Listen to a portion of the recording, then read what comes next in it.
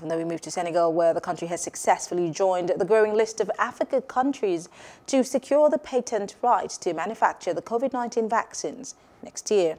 The West African country signed a deal on Monday with a Belgian biotech group, Univercells, to provide the jab for next year. As the world is rushing to vaccinate billions of people against the pandemic, Africa's initiatives to secure the jabs have been minimal, given that only 7 million people have been vaccinated.